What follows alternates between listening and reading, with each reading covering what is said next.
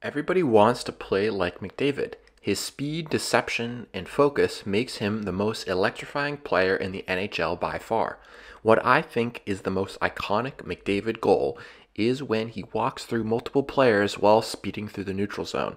Now, the goal of this video isn't to give you some secret formula on how to achieve this level of ability. I want to shift your perspective in order to help you see hockey problems from a more constructive point of view. Right from the start, players get it all wrong. Many will begin with the objective of becoming better at splitting defenders, so they may make many attempts splitting of two defenders in a men's league, beer league, or practice scrimmage. This results in many failures, maybe a success or two, but for the most part, nothing was learned. This mentality is doomed to fail because you are focusing on the outcome and forcing it into situations it might not belong. In this case, the outcome you are forcing is a successful splitting of defenders. The outcome is very different from the situation. The situation McDavid finds himself in here, in all these clips, is a neutral zone rush one on one.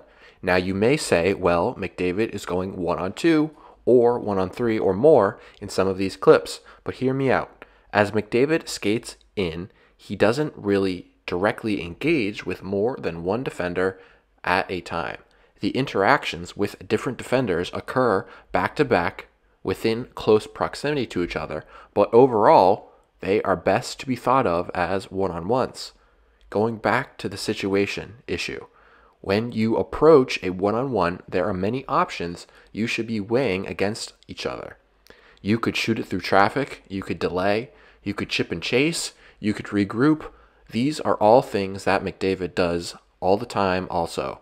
If you single out one of those actions, which are essentially outcomes, and emphasize it above all others, you then start focusing on putting a square peg in a round hole. Your goal, if you want to get better at splitting the D like McDavid, should be to learn about reading defenders in one on one situations and optimally choosing one of the many possibilities I listed previously.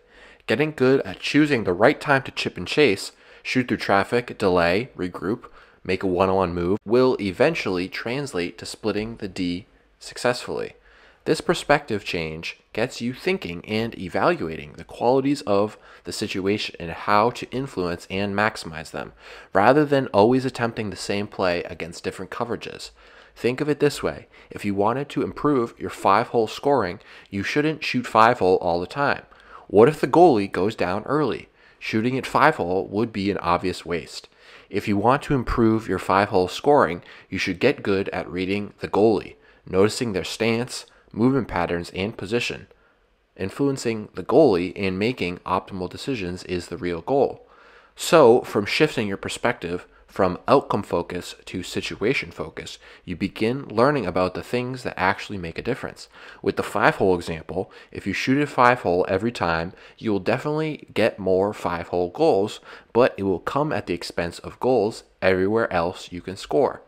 Just the same way, if you prioritize splitting defenders, you will definitely be more successful splitting defenders, but you will sacrifice all the other better decisions that would have resulted in goals also. Thank you for watching. Picked up again by McDavid, straight up the middle, McDavid in, scores! What a goal!